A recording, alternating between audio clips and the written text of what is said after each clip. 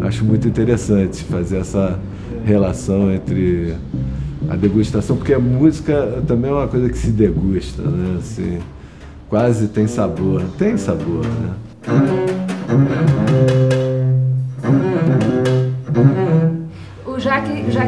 É o terroir do, do violoncelo dele, no caso. Porque ele é o cara que dá a personalidade como o cara que trabalha aquele lugar específico. A música está dentro da gente.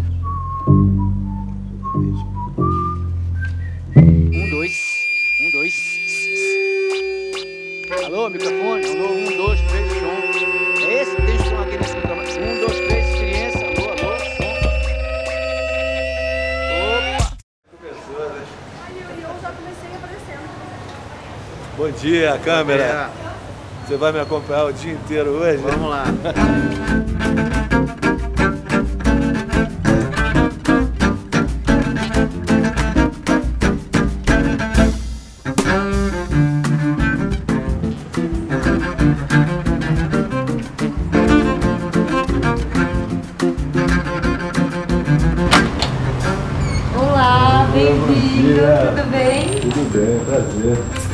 recebê-lo, bem-vindo à minha escola, tudo bem? Obrigado, que, coisa linda. Deixa eu uma mostradinha. É, Legal. A adega tá aberta ali? Não. Dá uma, dá uma vidinha lá. Copos pra nariz, copos pra boca, são diferentes. Taças pra nariz também. Então você não sabe o que, que tem dentro. Então a pessoa co- desconecta do aspecto visual, porque não interessa pra gente quando a gente está degustando vinho que a pessoa julgue nada com os olhos. Então ela tem que desconectar e realmente ficar só. Então ela não sabe nem se o vinho é branco ou tinto, ela não sabe nem o que está dentro. E aí ela consegue captar o que está, a essência do que está ali.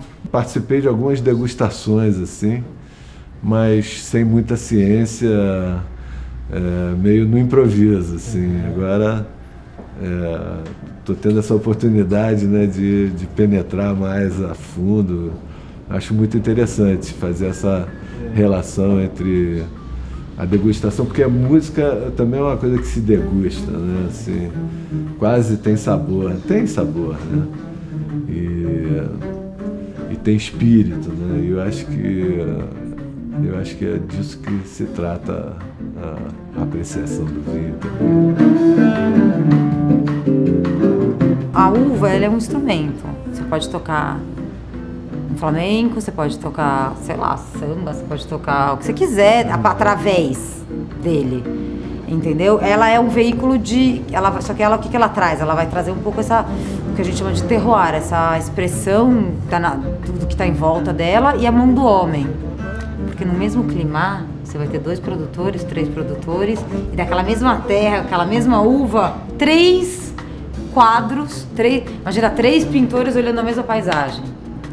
São três viticultores trabalhando na mesma terra, a mesma uva, mesmo tudo, só que eles pensam diferente. Você tem três expressões daquele clima. Meu pai é violinista, músico, maestro, né? Minha mãe é pianista. Então a música, quando acho que na barriga da minha mãe eu já estava vivendo esse esse universo, né? E, e- e é muito atraente. Comecei a primeira aula de música formal com três anos de idade já.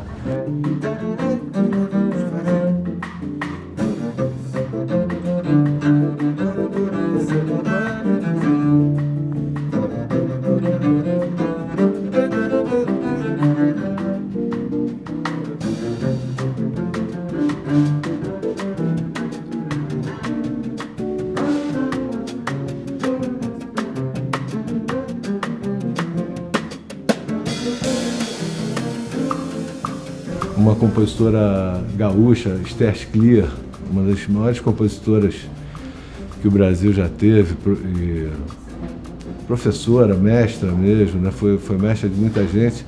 Ela chegou jovenzinha no Rio e, e alugou um quarto na casa da minha avó, que tinha casado as filhas dela e tal, tinha um quarto sobrando. E em vez de pagar o aluguel, ela dava aula para os filhos, para os netos da, da minha avó. Então a minha primeira aula foi com ela e tal.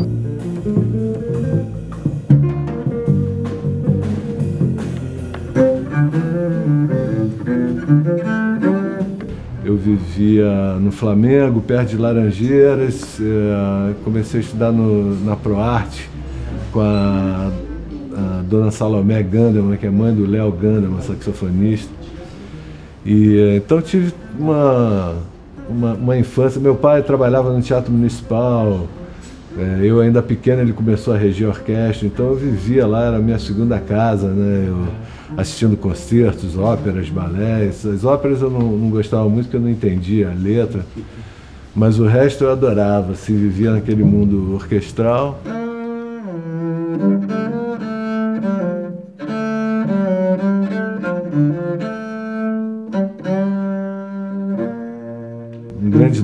Exemplo, que, com quem eu trabalhei também foi o Sting. Né? Duas vezes, uma vez ele, ele participou do, de um disco do Tom, e aí depois ele me chamou para gravar um, um, um, show ao vivo com ele que se chama All This Time. Foi lá na Toscana. No, no meio das vinícolas também tinha, tinha relação. A gente passou dez dias lá, uh, ensaiando de manhã, de tarde, de noite, e nos intervalos tomando vinho.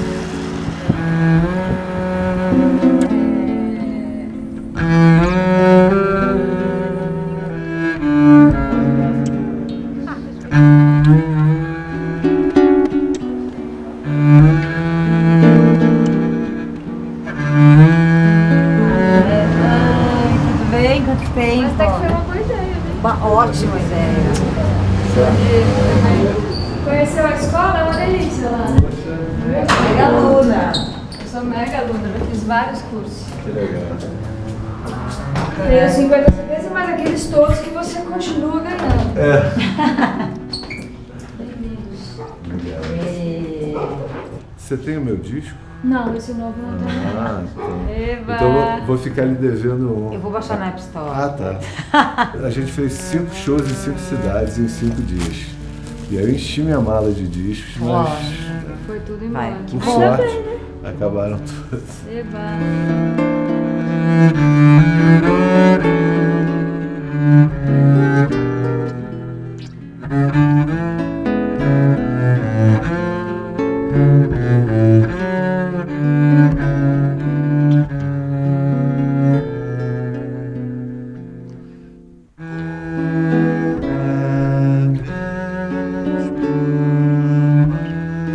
Desse disco foi o seguinte: no ano seguinte que, da, da morte do Tom, é, eu fiz o Heineken Concert e, e, e eles me pediram para convidar um estrangeiro. Aí eu convidei o Sakamoto. E, e aí, a gente, muito amigo da Ana Jobim, eu, eu falei, poxa, será que eu podia levar o Sakamoto para conhecer a casa onde o Tom viveu e tal? E ela, ela nos convidou e aí foi emocionante, porque ele entrou lá como se estivesse entrando num templo budista, né? E, e ficou olhando assim pro piano e tal. E a gente pediu, poxa, toca alguma coisa. Ele falou, posso? Tal. Ai, que maravilha. E aí tinha uma partitura lá, ele saiu lendo, aí começou a tocar. E aí, alguns meses depois, a gente fez uma turnê na Europa e a Paulinha veio com a gente. Era, o que eu tocava com ele era um trio de cello, violino e piano. Com as composições dele. Tem até um disco chamado 1996, que é com essa formação. São as composições dele, né? E a Paulinha passou a turnê inteira assistindo esses concertos e imaginando assim, poxa, tira um violino, bota uma voz. Aí um dia, tomando um vinho, depois de um concerto. Porque nenhuma grande história começou com eu estava tomando um leite e aí. Ela falou, poxa, que tal a gente gravar Tom Jobim, que você gosta tanto? Aí o Tom, o Sakamoto falou, só se for na casa dele. Ah, que genial. Aí, algum tempo depois, a gente falou com a Aninha, estava morando em Nova York. e a casa estava fechada. Aí ela emprestou a casa para a gente durante cinco dias e a gente chegou num verão quentíssimo no Rio e gravamos o disco com as janelas abertas, né? Porque não podia ligar ar-condicionado. Então, vamos tomar um vinhozinho para fazer essa brincadeira? Ah, vamos lá. Um eu já deixei meio abertinho, porque eu acho que ele precisava dar uma respirada. Então, esse daqui. Então, ele já tá meio encaminhado. Só pra agora. 333. Ê, folia. Do Ilhaquá, tudo? É. Oba. Não,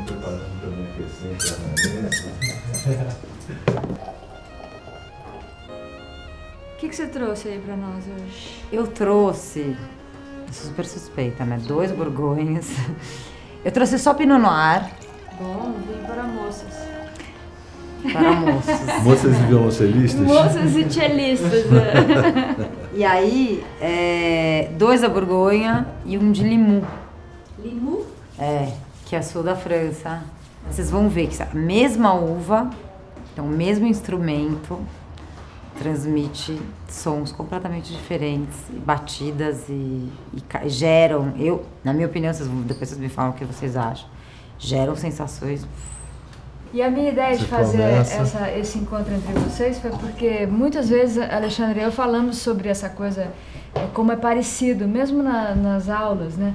Ah, eu sinto aqui notas de não sei o quê, Ah, que bonito. né? Não, e ela já falou do instrumento várias vezes, de ser o mesmo instrumento, e é uma pergunta recorrente também para mim, porque o violoncelo, assim, teoricamente é um instrumento de música erudita, né? Assim, eu conheço pouquíssimos eh, violoncelistas que tocam jazz e samba, então É. menos ainda. Menos né? ainda. O Jaque, Jaque então, é o terroir do, do violoncelo dele, no caso. Porque ele é o cara que dá a personalidade, como o cara que trabalha aquele lugar é o específico, dá o, o- o- a, a personalidade para o vinho.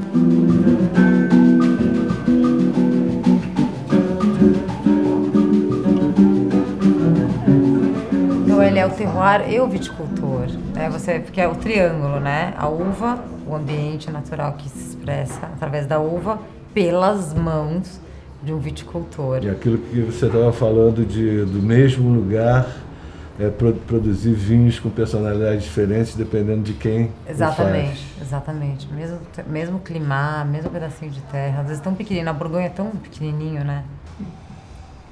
Olha como o Limu é o que tem menos, é o menos impactante, assim, o último. tá contando que o último é do limão. Ah, já falei. Mas é que é muito, é, chama muita atenção. Os dois são delicados, extremamente delicados, mas tem perfume. O outro é mais um pouquinho mais Esse é extremamente perfumado. Né? extremamente perfumado. Sabe o que que tem? O que, que você viu? Acerola. É. Onde tem a cerola? Num... Ou é pitanga, ou é tomate. Ah, a cerola e pitanga tá pertinho. Tem, é. Agora gira, quer ver, ó? Agora você imagina isso, Joaquim, a gente fazendo a noite inteira, das 7 da noite às 10 e meia, 11 horas, essa brincadeira. Você vai pra casa feliz da vida, né? Ó, como muda. Eu ainda eu ainda estou tentando descobrir a Muda acerola muito, e a rolou, tomate. rolou um tomate. Tem um tomate, Rolou né? um tomate.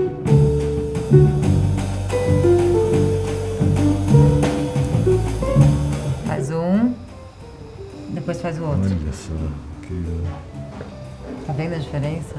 É a mesma uva, é a mesma região, é tudo incrível. E aí o 3.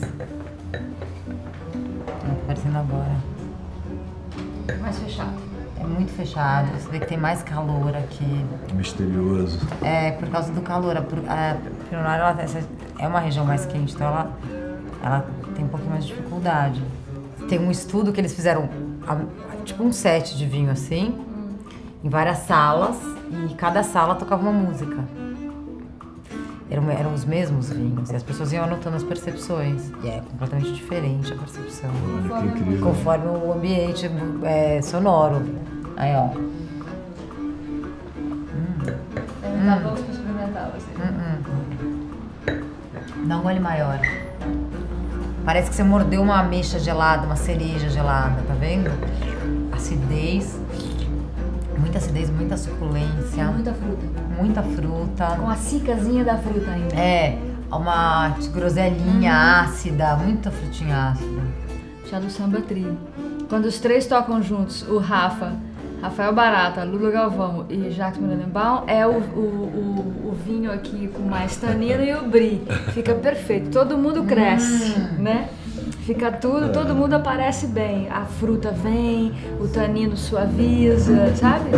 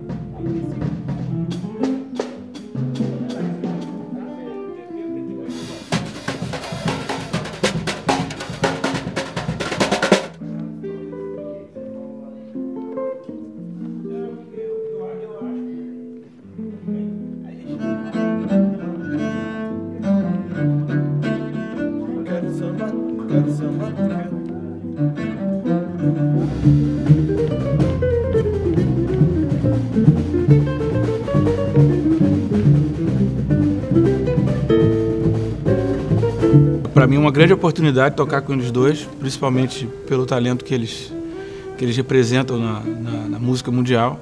É, para mim é muita, tem muita sorte, né, de fazer isso, de estar tá aqui. E principalmente por, por essa formação peculiar, quer dizer, violão e cello, eu trabalho com um, uma certa dinâmica bastante fora do padrão da bateria. Né? Então, uh, para mim, o, ponto-chave aqui é respeitar a música, respeitar as melodias, as composições da maneira que eles estão tocando, com a dinâmica que, que cada instrumento ali produz. A gente toca no volume bem baixo, assim. Então eu tenho que me encaixar nisso da melhor maneira, né? Eu tenho que sair do, do, padrão da bateria, que é nitidamente o instrumento que emite mais som do que eles dois, e dentro do, de toda a gama de instrumentos é o, o instrumento barulhento, né? Eu tenho que tocar de uma maneira bastante especial. E é sempre um desafio, eu tenho aprendido muito. Toco diferente, crio linhas, crio, tento buscar é, é, manter o swing do samba, mas tocando de uma maneira peculiar, assim, para casar com eles dois.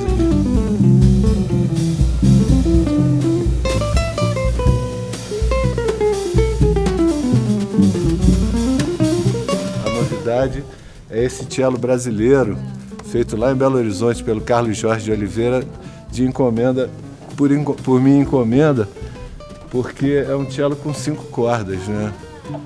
E, e eu tenho um Fá grave que fica um semitom de diferença do contrabaixo.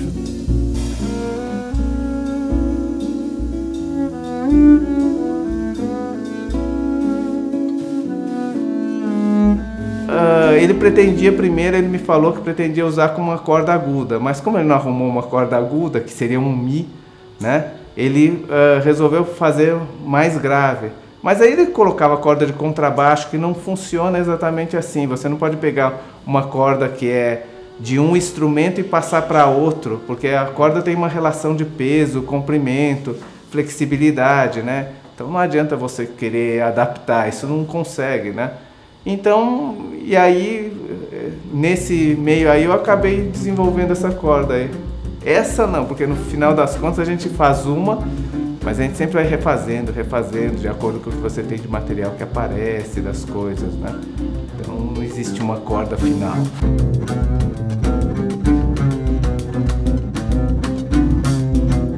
Só me falta um, um semitomzinho, eu até no, no, nosso disco que a gente gravou, que se chama Saudade do Futuro, Futuro da Saudade, tem uma outra música minha que se chama Maraca que ela é em Mi, e eu afinei a corda um semitom abaixo, então eu tenho basicamente a mesma tessitura que o contrabaixo. Evidentemente eu não tenho o corpo do contrabaixo, mas os microfones e tal dão uma certa é, recuperada nesse, nesse sentido. Agora, o, realmente o instrumento não tem um ganho tão grande e, e, é uma sorte, assim, são, acho que são poucos bateristas que, que, que sabem tocar com a dinâmica certa para que esse som fique redondo. E eu tenho a sorte de, de ter o barato aí com a gente.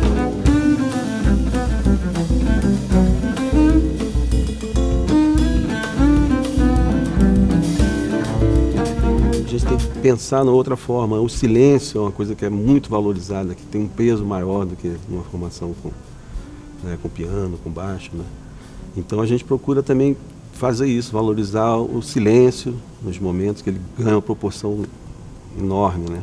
Fica, diz mais do que muitas notas em determinados momentos. Sim, eu venho buscando o samba que eu gosto de ouvir, né? Tem tem muito samba, o samba é uma palavra muito ampla, né? E inclusive eu chamo o grupo de cello samba trio, mas a gente toca também marcha rancho, toca maracatu, toca outras outras coisas, mas eu uso o samba como talvez os americanos usem a palavra jazz, entendeu? Para sintetizar a música brasileira como um todo e tal. Eu, eu, acho que a gente tem um público muito grande lá fora do Brasil. É, eu acho que a gente faz um samba culto.